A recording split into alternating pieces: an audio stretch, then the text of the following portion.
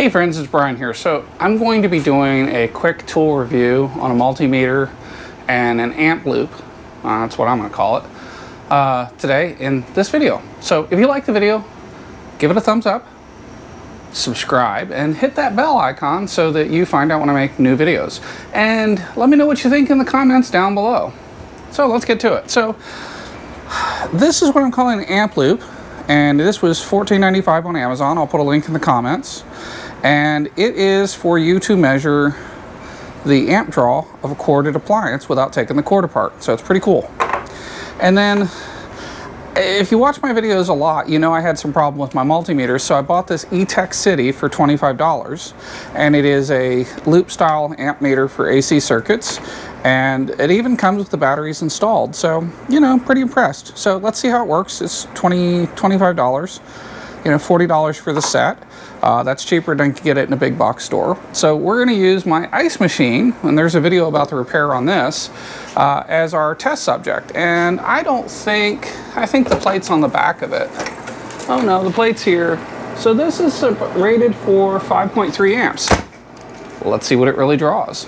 So let's just take both of these in. And this is the problem you run into with a classic you know, eh, here's the cord. So how are you going to measure that? Are you going to take this apart, screw with that? No, neither of the above. So here's what you're going to do. All right, so let's pull that out of the way. That's automation. So you unplug that, you plug this in, and now you plug this in here. And now the current for this is running through here. This is a 1x loop and this is a 10x loop, and you really need both because these give you good readings. So it's showing 0.02 amps, which is kind of irritating. It should be showing zero amps right now.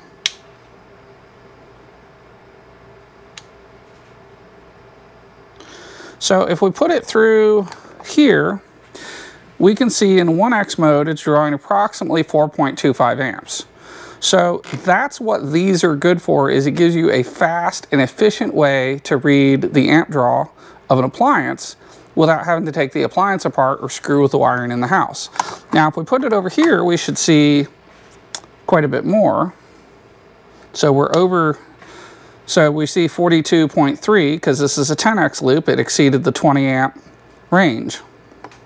So the 10x loop is good for small stuff. So if I wanted to measure something that was really tiny, and, and we'll do that here, because, you know, that's what this channel's about. So let's put this back in. Let me get something small.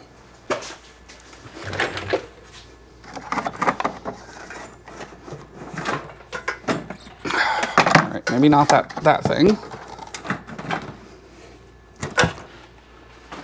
So I'm going to use a DeWalt battery charger, and I'm going to swap the battery so that I know we're in charge mode. You know, now what's it rated for? It is rated for 1.5 amps. So 1.5 amps would be below the native resolution of the uh, amp meter. So I'm just swapping the battery out. So I'm going to put this battery on the charger. But first I'm going to put the amp draw over here. So if I put it in here, one and a half amps isn't going to show up on this meter. All right, so it's drawing, it says it's actually drawing some current in standby. So our base is 0.02, so just sitting here, this charger draws 0.15 amps. So it's an energy hog. And when we put that on, it jumps up to 0.84 amps, which is below the, the accuracy of this meter. So if we put it in to 10x mode, it shows us that we're drawing 7.95 amps, which is actually 0.795 amps. Because remember, we got to divide this by 10. So we're still under an amp draw here. And if we take this back out, let's see what the 10x reading is. The 10x reading is 0.19. So yeah, it's still drawing something in 10x. Uh, and that's, that's kind of interesting. But that's that's what the 10x loop is for, is you, you can't get an accurate reading over here. I mean, it says 0.83, but the, the meter says it's good for 2 to 20, so you really need to go up to this. And the other thing that this is good for is, let's say that you are suspecting that maybe you don't have good voltage for your device? Well, there is a voltage check here that is somewhat safe. And in addition to just having the squiggly lines, it tells you if you're in AC mode or not. So we're going to do a voltage check here. Common is black. And now you could get messed up here, so you got to be careful. So we got 120, 119.5 volts here at the outlet. And again, that's just, this is just a great, safe resource. And it comes with pro the, the uh, meter comes with probes. So that's, that's kind of a nice uh, resource. Sometimes the probes aren't, aren't that great that come with these.